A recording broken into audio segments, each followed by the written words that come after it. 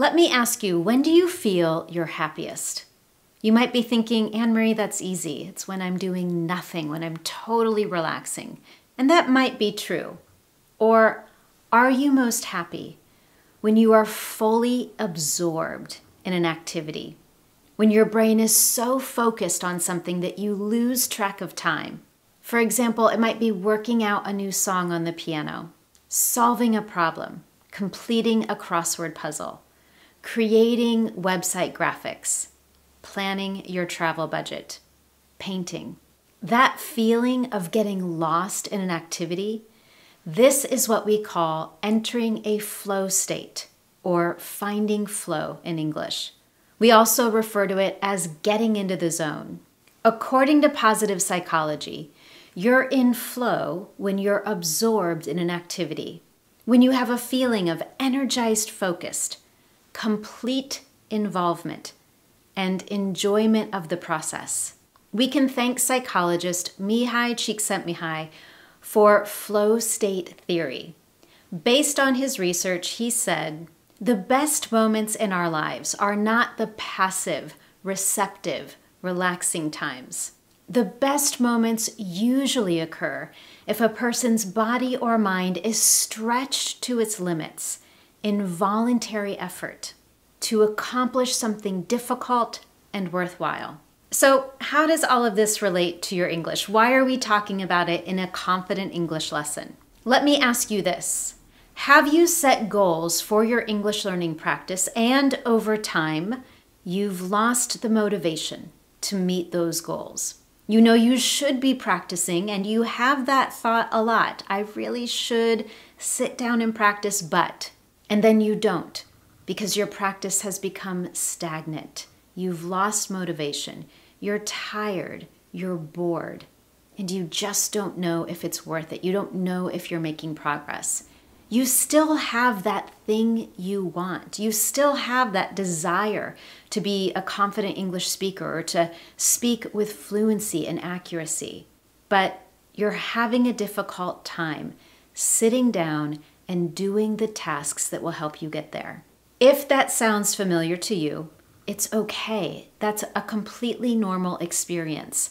And finding flow in your English learning practice can reinvigorate your efforts. It can give you renewed energy, new motivation, and excitement. You can even enjoy the process of learning English. That's my goal in talking about flow state with you today. I want to help you know how to enter a flow state in your English learning practice so that you have fun, so that you enjoy it, and you see the progress you're making. I want you to think for a moment about your job and all the responsibilities of your job. There are some responsibilities you have that you actually really enjoy, and you get lost in them. Time disappears when you do those tasks. And then, of course, there are other tasks, other responsibilities that you have to do. They're part of your job, but you have to really push yourself to do them. You don't enjoy them. All of that is true about any particular skill we're working to improve in our life, whether we're working to become a better athlete, a better singer, a better artist, or a better language speaker. In every skill, there are tasks that help us improve and that we also enjoy, tasks that allow us to enter a flow state and find that renewed energy. And there are tasks that we need to do to make improvements, but that might be more of a struggle.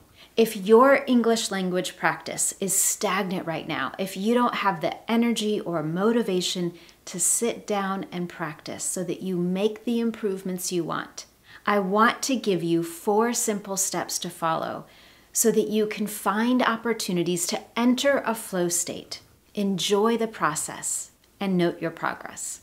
Not only Will finding flow in your English learning practice help you find enjoyment? It will also increase your creativity, improve your productivity and performance, lead to more satisfaction and fulfillment, create a desire for continued learning and mastery, increase your confidence in your skills and in your belief that what you want is achievable. And lastly, finding flow leads to increased levels of happiness.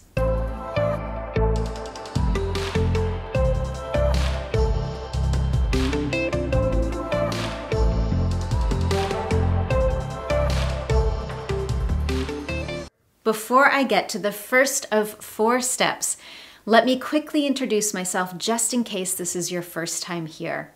I'm Anne Marie with Speak Confident English. Everything I do is designed to help you get the confidence you want for your life and work in English. One way I help you do that is with my weekly Confident English lessons, where I share my top fluency and confidence building strategies, advanced level vocabulary, and lessons just like this one, where I help you enjoy the process of learning English. So while you're here, make sure you subscribe to my Speak Confident English channel on YouTube so you never miss one of my confident English lessons. Now, if you're ready to identify tasks that are going to help you find flow in your English learning practice and bring back that motivation you need, here are four simple steps to follow. Step number one find your golden hour. A golden hour is also known as that magical period of time during the day when the light is soft and it's perfect for capturing a photo for example, when the sun is rising at dawn or when it's setting at dusk. You also have a golden hour, a time period during the day at which you are your most productive and your most creative. It's a time of day when it's easiest for you to focus. When you want to enter flow, it's important that you prioritize tasks during your golden hour.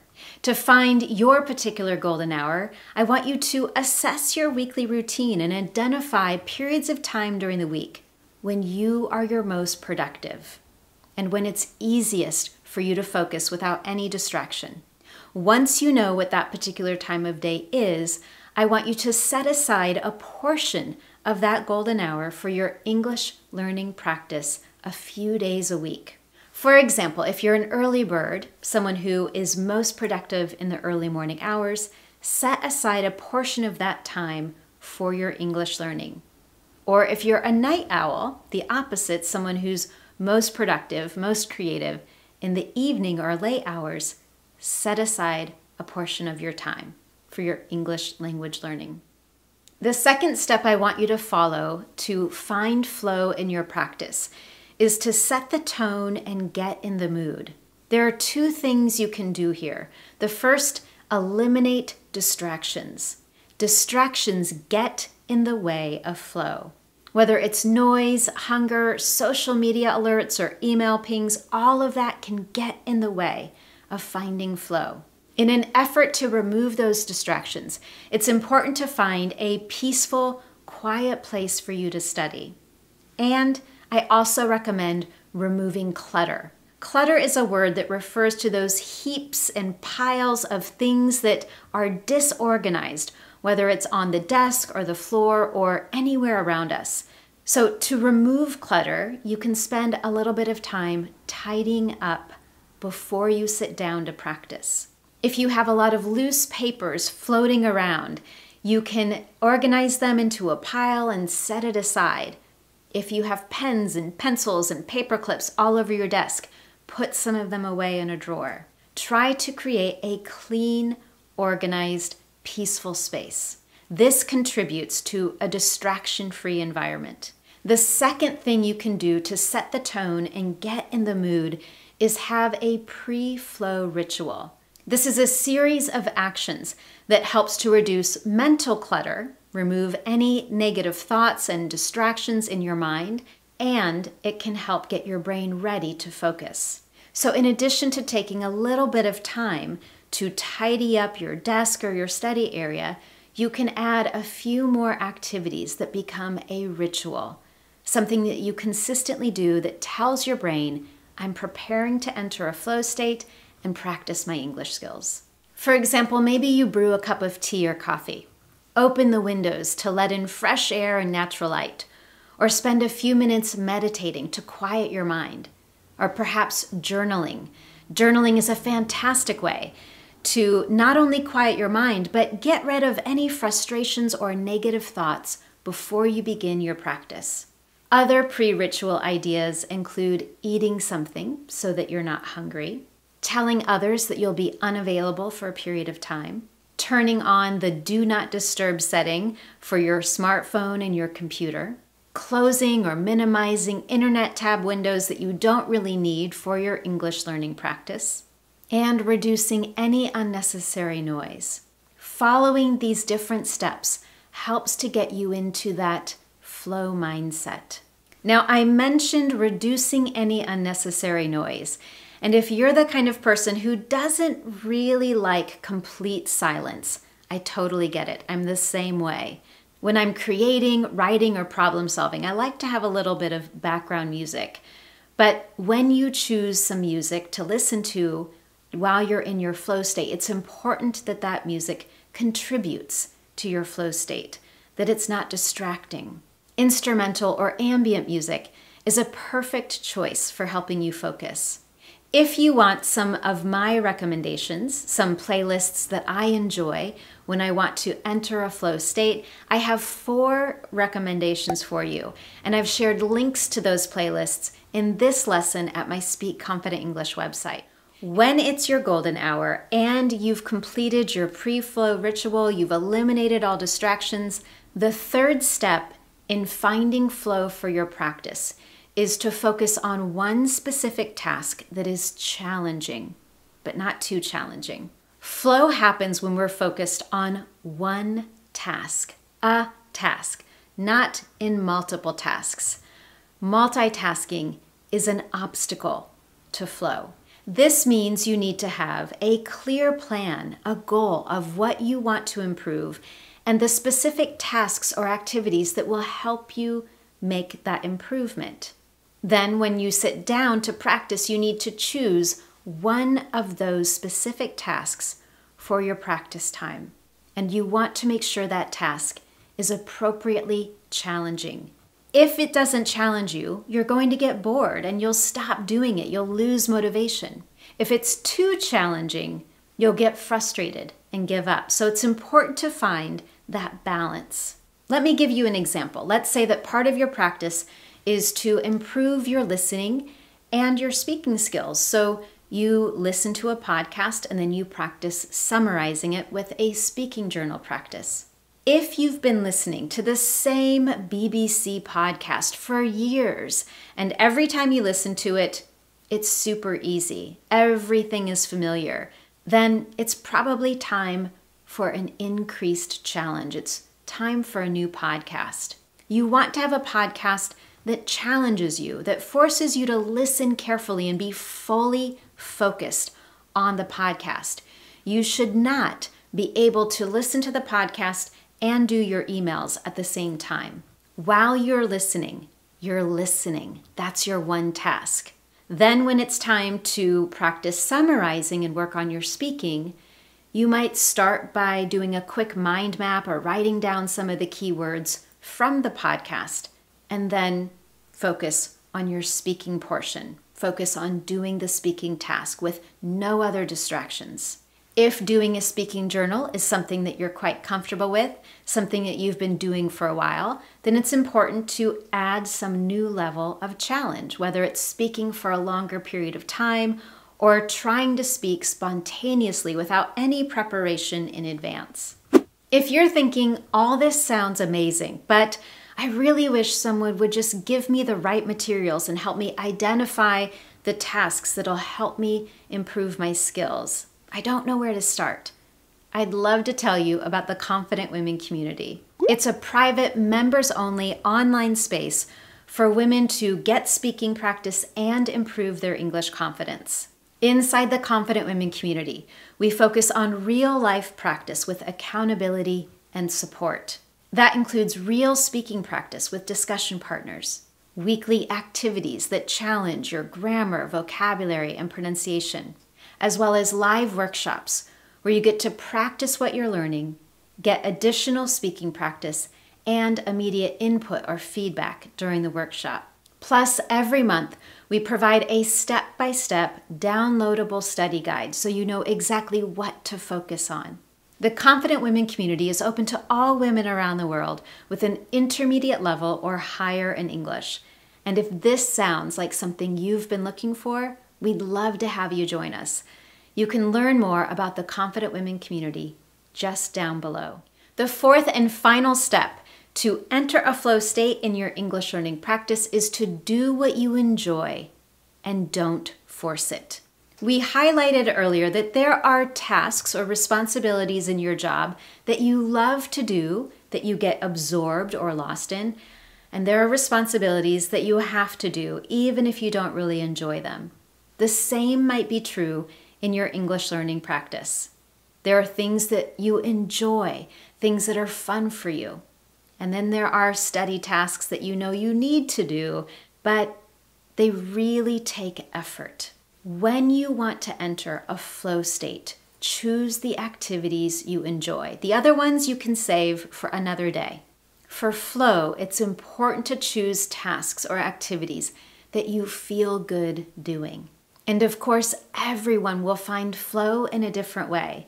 The tasks that you enjoy might be completely different from what someone else enjoys when they're working on their English language skills. Now, I mentioned in this fourth step it's important that you do what you enjoy and don't force it.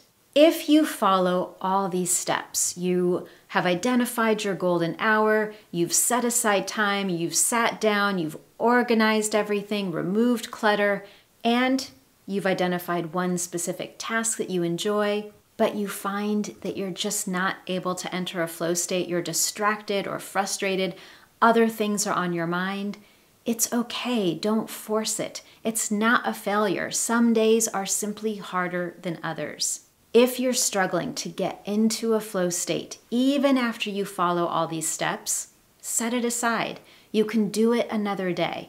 But before you totally give up, I recommend that you spend a few minutes journaling, writing things down. Get out that negative frustration, the negative energy, any negative thoughts you might be having any distracting thoughts that you're having. Getting it on paper helps to release it and remove it. You might even find that after you spend a few minutes doing that, you're totally ready to enter a flow state. Or perhaps you decide, I'll do it again tomorrow.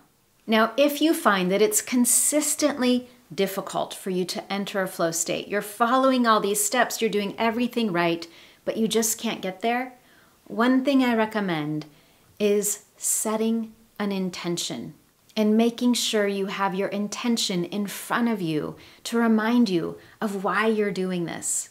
An intention is a plan or a determination to positively act in a certain way. You can also think of it as the purpose for doing what you're doing. To help you identify your intention, I have a few questions you can answer. Number one, why do I want to improve? And then name the specific skill. Why do I want to improve my English listening skills? Why do I want to improve my pace while speaking? The second question is how will strengthening that particular skill improve my life? How will strengthening your listening skills improve your life? Or how will it benefit you? How will strengthening your speaking skills improve your life? How will it benefit you? The third question why is that important? Why is that particular benefit important to you? For example, if strengthening your speaking skills will help you have easier conversations with coworkers and develop stronger relationships at work, why is that important to you? Why does it matter? And the last question is what tasks or activities do I enjoy in English that will help me improve that skill? To determine your intention, your purpose for spending time improving your English language skills, I recommend spending a few minutes answering those questions and writing down your answers. They don't have to be lengthy responses.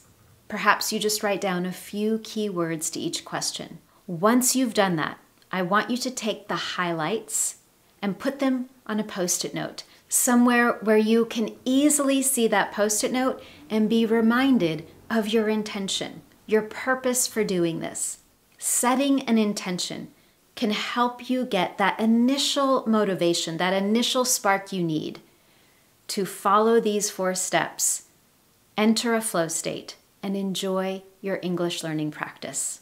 To finish, I have two questions for you. Number one, what activities or tasks do you enjoy in your English learning practice? What activities do you get absorbed or lost in? Tell me what they are, and you can share with me in the comments below.